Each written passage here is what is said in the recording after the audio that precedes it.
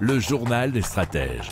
Et donc Ripple a lancé une plateforme dédiée à l'émission des monnaies numériques de banque centrale. Hein, vous savez, CBDC, qui permet aux banques centrales, gouvernements et institutions financières de créer leur propre devise numérique, nous dit decrypt.co slash Alors cette plateforme de Ripple utilise la technologie de Private Ledger de Ripple, une blockchain qui est conçue pour l'émission de CBDC, donc les monnaies de banque centrale, qui est basée sur le même système que le XRP Ledger, un XRP de chez Ledger qui est centré sur les paiements.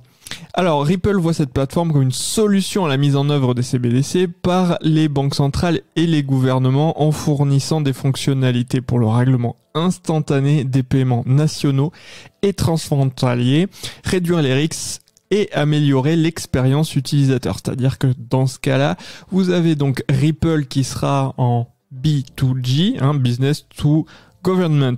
Donc euh, ça sera leur fournisseur, si vous voulez, de solutions.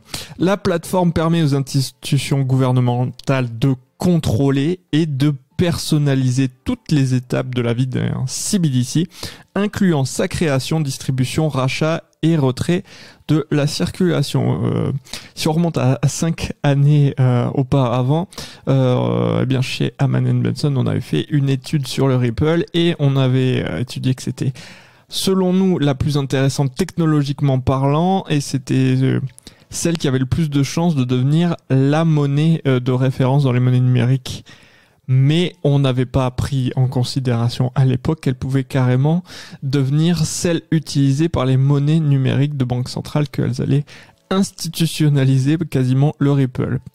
Euh, les institutions financières peuvent également utiliser la plateforme pour gérer les processus de distribution de CBDC, tandis que les utilisateurs finaux, qu'ils soient entreprises ou particuliers, peuvent stocker et utiliser leurs devises numériques de manière sécurisée.